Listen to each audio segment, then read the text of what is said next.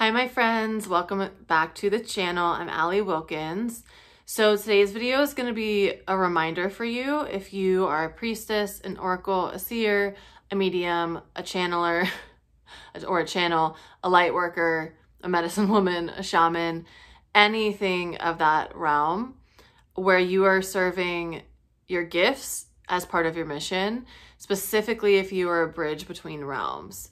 So I want to share something that I learned or was told yesterday that really stuck with me and I'm like more people need to hear this. So um I'm in this course right now again for the second time called Hathor Rising with one of my teachers Kara Gilligan who I've worked with for years. I highly recommend her. Her Instagram handle is Akara Sophia. Um and she was sharing with us about the priestess path and something that she shared within our group call yesterday, she was talking about how challenging it actually is to be in this role in this time of the world. Because in other lineages and in other times, when you are someone who had these sort of gifts or was going through these sort of initiations, there was support. Like people knew what was happening, people understood what was happening to you, and there were training programs or there were apprenticeships, there were um, traditions that would happen when you showcase certain sorts of gifts that would train you how to utilize them that would that would bring you into that tradition that would that would teach you how to be in that role. In the united states we do not have that. In western civilization i'll say that. We don't have that. We're kind of just like thrown into the sphere like figure it out for yourself have fun. And the people in these other roles um, were in smaller tended to be in smaller communities or smaller cultures and so they maybe were channeling that information for their smaller community.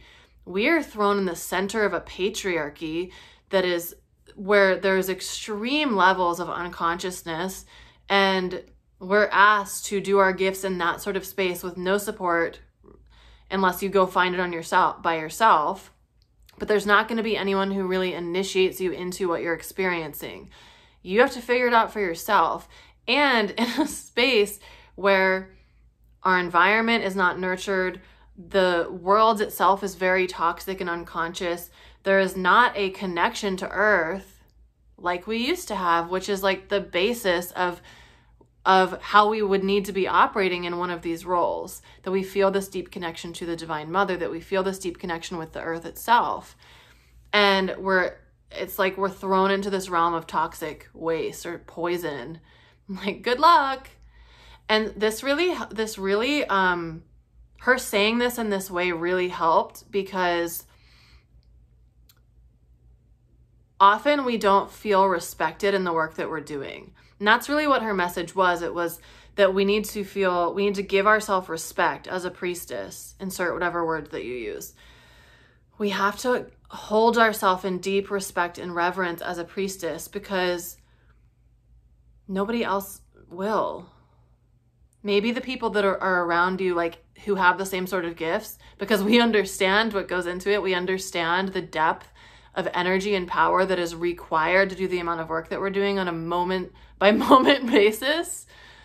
But the rest of the world doesn't really get it, right? And so I was sharing in the group, like, this really touched me because I show up in service all day, every day. This is what I'm doing.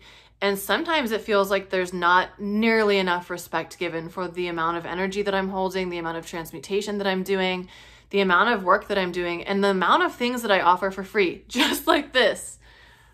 P.S. If you ever want to donate, I have in my description a donation link. I don't expect it, but it would be nice sometimes. That'd be fun to get a little PayPal notification from YouTube. But, anyways, so my point is a lot of times we don't feel respected because people honestly just don't understand what it is that we're doing, right? Like when I'm at the family dinner table, at Thanksgiving and people are like, "So, what do you do exactly?" and I tell them and they're like, "No, but like what result do you create? What like tangible what tangible thing?" and I'm like, "I help people uncover their soul."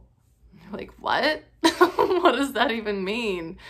And so a lot of times what we're doing isn't explainable in words and you it can only be experienced and people just simply don't understand what goes into it. Um, also, a lot of times, this was another thing that she was sharing that was really eye opening for me. And it was that we give so much respect to indigenous cultures, which we obviously should. But we have to give ourselves that same amount of respect. And a lot of times, and she was speaking to this as well, but I under I feel this as well. Being a white woman sharing uh, multiple lineages, because I work with the Egyptian lineage, I work with um, Native American lineages. I work with tantra, tantric lineages. I work with many di- like shamanic lineages. I'm studying all over the place. And to be a white woman, sharing some of this sometimes is challenging. And it can be difficult. And sometimes it's just like you're just this stupid white woman, so privileged, blah, blah, blah. And it's like that. Yeah, I am privileged. I understand that on a deep level. And we still get to hold ourselves in respect because what we're doing is incredibly challenging. The times we're doing it in are incredibly challenging. And the fact that we have no support is incredibly challenging. So let this just be your reminder like, give yourself respect, even if nobody else is going to give it to you. Give yourself respect, hold yourself in respect. Know that what you are doing is important. And something that I see a lot is that people are for the work that you're doing. So when you're offering your service to someone else, please charge what you desire. Please charge what you feel is an equal exchange of energy so that you can fully do your work. A lot of times people don't understand that in order for me to do an Akashic record reading, I cannot have any other work the rest of the day unless it's like admin type work, but I'm not going to have other calls the rest of the day my energy is fully focused on your energy for that whole day, before the session, during the session, and after the session.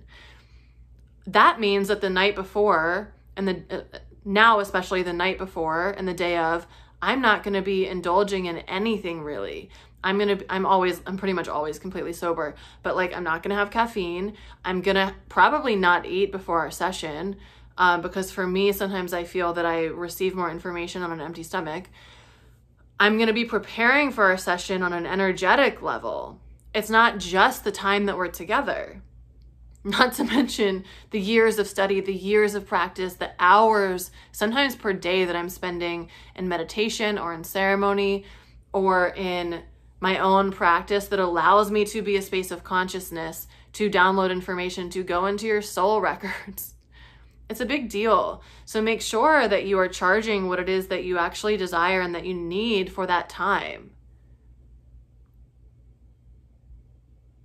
Don't charge pennies. Don't charge pennies because the work that you're doing cannot be replicated by just anyone.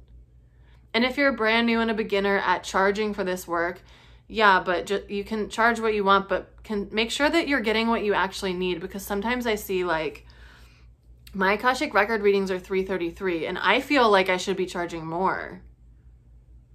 I see sometimes on Etsy and stuff it's like it's like $20 Akashic record readings and I'm like, "Oh my god, the quality of these must be so horrible."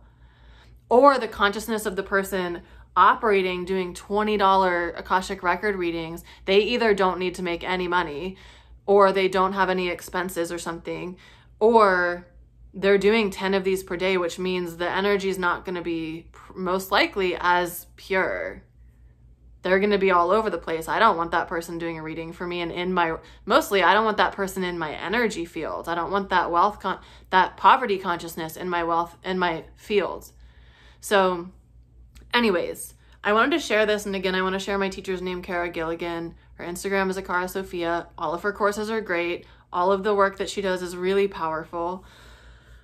I've done almost everything that she's created to my knowledge. Um, and she was just sharing this yesterday in our group our group call for the course and it just was a perfect reminder for me in that moment because it can be very challenging when people don't get what you do it's not like oh i'm a marketer oh i'm a real estate agent or oh i sell toothbrushes or it can be hard to put into words what we're doing and it's like oh i'm just shifting timelines from the past present and future. No big deal.